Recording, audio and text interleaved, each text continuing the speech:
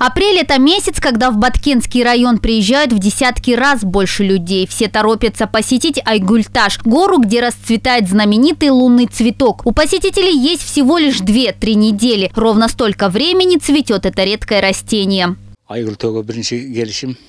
Я впервые на Айгульто. Очень хотелось увидеть цветок своими глазами. К сожалению, его с каждым годом становится все меньше. Говорят, чтобы из семени вырос цветок, должно пройти несколько лет. Он очень красивый. Нам нужно хранить и беречь эту красоту, которую природа подарила Баткенской области.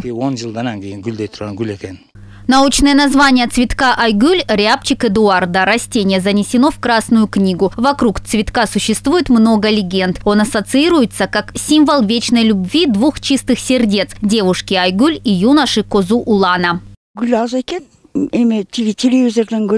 Я удивилась, что цветов очень мало. Даже стало обидно, что многие не относятся к нему бережно. Ведь благодаря таким цветам наша природа считается уникальной.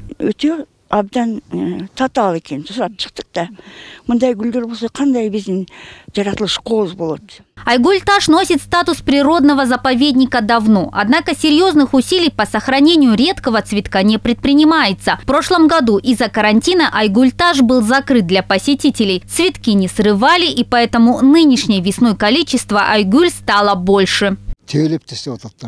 Люди просто берут и топчут цветы. Есть штраф 4,5 тысячи сомов для тех, кто сорвал цветок. Но штраф мало помогает сберечь растения.